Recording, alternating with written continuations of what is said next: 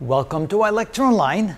Another way in which we can verify that a line integral is independent of path is that if the following condition is true. So let's assume that we have a vector field and is defined as some function of x and y in the i direction and some function of x and y in the j direction.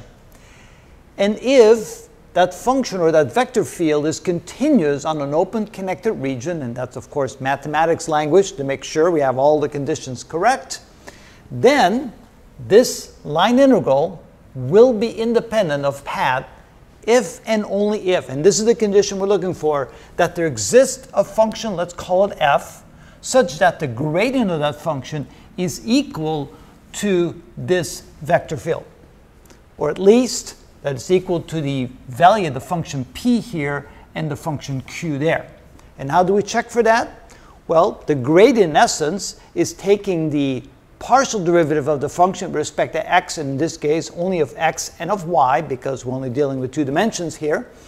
And of course, you can see that taking the gradient of the function literally gives you a, a, a vector, so indeed that this will be indeed equal to the vector field, but if we take the partial of f with respect to x, and we do not include the vector portion, the i and the j that we normally get from taking the gradient, then this, if this is equal to this, and this is equal to that, with other words, the partial of that function that we choose with respect to x if it's equal to p, which is this function right here, and if we take the partial of that function with respect to y and is equal to this q right here, then we know that this is a vector field that allows you to have a path-independent line integral looking like that.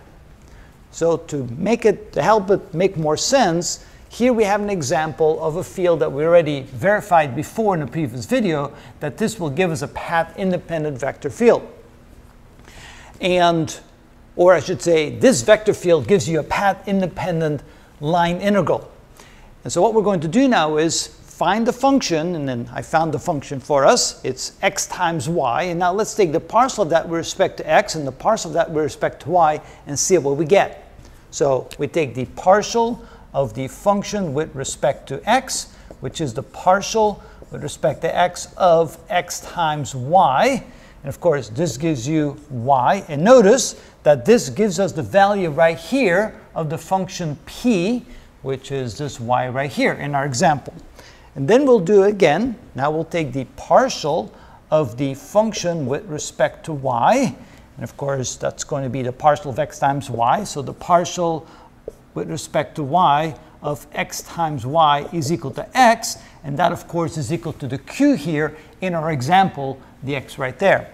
So if we find a function, in this case we took x and y, in such a way that the partial of that function with respect to x gives us the function in front of the i component, and then we take the partial of the function with respect to y, and then we get the function, which is the component in front of the j component right here, and that then makes up the vector field that we started with, then we know that this vector field, if we do a line integral over that, over a closed loop, that will be equal to zero. And if we do a line integral from point A to point B, regardless of what path we take, we always will get the same result.